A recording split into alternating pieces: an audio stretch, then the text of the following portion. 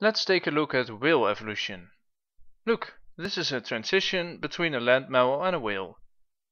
This is what a scientist had drawn based on evidence. That is a powerful argument for evolution. Whale evolution happened about 49 million years ago. But actually this skull is the only evidence on which the whale evolution drawing was based. The parts drawn white here was all that was found. It was named Pakicetus. The idea of whale evolution was based on an ear bone. A what? An ear bone. But later a more complete skeleton has been found. And this is also a reconstruction. The parts drawn here are the parts that are really found. Based on this new evidence, another artist impression was made. This isn't very whale-like, is it? Nevertheless, scientists still see this as a whale ancestor, but they just added more steps. This is the evolutionary diagram, and this is considered one of the best preserved fossil transitions available.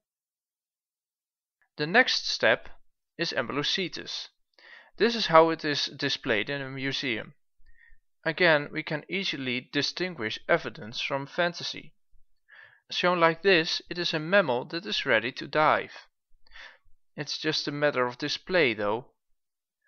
The parts marked grey are the parts that were really found. Again, the ear bone was one basis to conclude whale evolution. The ear bone is inside the skull, so it cannot be shown. The whale uses a specific ear bone to hear very low tones.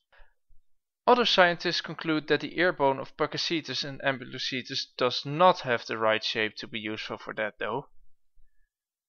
Another feature that is considered very whale-like is the cheekbone.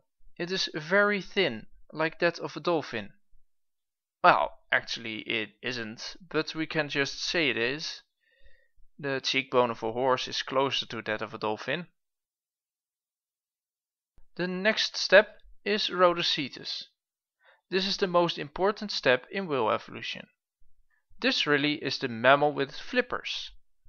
So it is the real transition between mammals and whales.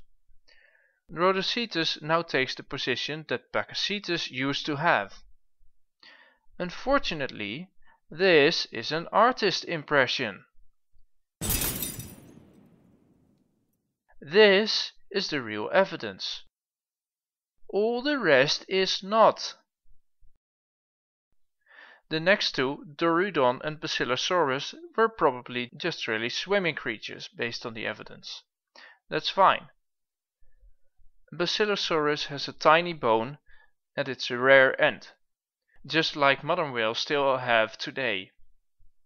It's often stated that this is a worthless leg left over. But it is actually a functional anchor that holds organs and it's gender dependent and it's not attached to the spine, which legs are. And now for the final step. From this point Basilosaurus is almost identical to the baleen whale.